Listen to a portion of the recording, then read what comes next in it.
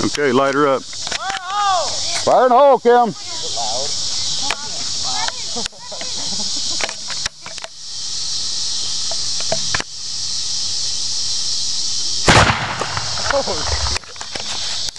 Yeah. Did you see that? I don't way out there. That's two, three hundred yards out in that field. That's far. That's real far. Yeah, it is.